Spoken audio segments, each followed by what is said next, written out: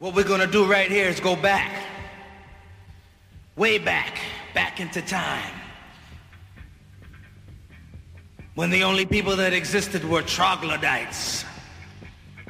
Cavemen. Cave women. Neanderthal. Troglodytes. Let's take the average caveman at home listening to his stereo.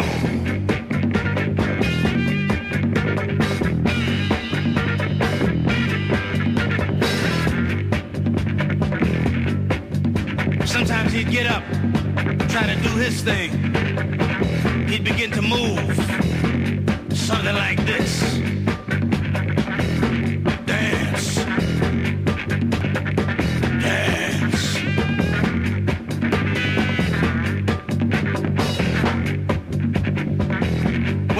Tired of dancing alone, he'd look in the mirror, he'd say, Gotta find a woman, gotta find a woman, gotta find a woman, gotta find a woman.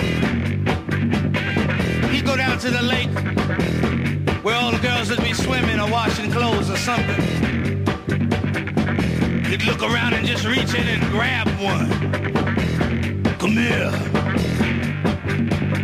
Come here. He'd grab her by the hair. You can't today, fellas, because it might come off. You'd have a piece of hair in your hand, she'd be swimming away from you. this one woman just laid there, wet and frightened. He said, move. Move. She got up. She was a big woman. Big woman. Her name was Bertha. Bertha Butt. It's one of the Butt sisters. He didn't care. He looked up, he said, Sock it to me, sock it to me, sock it to me, sock it to me, sock it to me, sock it to me, sock it to me, sock it to me. She looked down on him. She was ready to crush him, but she began to like him. She said,